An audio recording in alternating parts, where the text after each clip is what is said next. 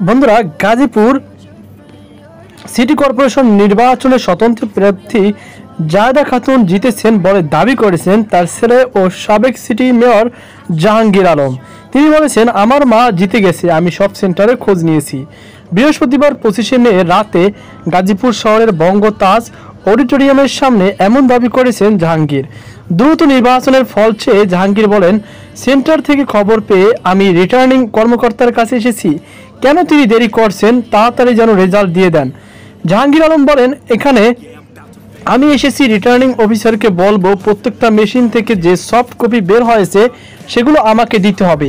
প্রয়োজনে CCTV camera footage দিতে হবে। কারণ নির্বাচন কমিশন বলেছেন, বাংলাদেশ মধ্যে গাজীপুর সিটি কর্পোরেশন নির্বাচন একটি মডেল নির্বাচন। নির্বাচন কমিশনারকে সহযোগিতা করতে চাই। সরকারের যে কোনো সিদ্ধান্ত আমরা মাথা পেতে নেব।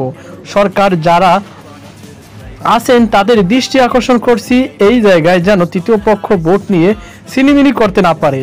আমার বিশ্বাস, মাননীয় প্রধানমন্ত্রী কাছে ন্যায় বিচার পাবো। আমার বিরুদ্ধে যত মিথ্যা অনিয়ম করা হয়েছে, আজকে সেটা গাজীপুরের মানুষ প্রমাণ পেয়েছে। বৃহস্পতিবার সকাল আটটা থেকে বিকাল চারটা পর্যন্ত চারশো আশিটি কেন্দ্রে বিরতিহীনভাবে চলে ভোট। কোনো ধরনের সহিংসতা ছাড়াই শান্তিপূর্ণভাবে শেষ হয় এই সিটির ভোট। সিটি কর্পোরেশন চারশো আশিটি কেন্দ্রে ভোট গ্রহণ অনুষ্ঠিত হয়। এই নির্বাচনে তিনশো তেত্রিশ জন প্রার্থী মোট ভোট যুদ্ধে অংশ নেন। এর মধ্যে মেয়র পদে আট জন, সাধারণ কাউন্সিলর পদে দুইশো ছেচল্লিশ জন ও সংরক্ষিত ওয়ার্ড কাউন্সিলর পদে উনআশি জন প্রার্থী আছেন। এছাড়া সাধারণ ওয়ার্ডে একজন প্রার্থী বিনা প্রতিদ্বন্দ্বিতা নির্বাচিত হয়েছেন।